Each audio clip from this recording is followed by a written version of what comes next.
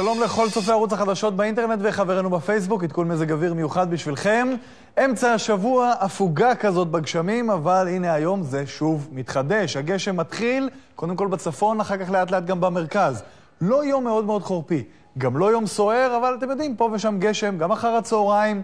מחר, מזג אוויר חורפי יותר. יותר גשם בחוף בצפון, פחות בירושלים, באר שבע.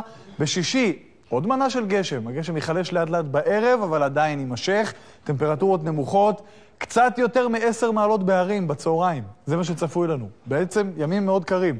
בשבת, עוד התחזקות בגשמים. אפיק של אוויר קר יושב ממש מעלינו, וזה יכול לגרום גם לגשמים בדרום, במדבר, במזרח, ולכן יש חשש לשיטפונות והצפות במהלך שבת.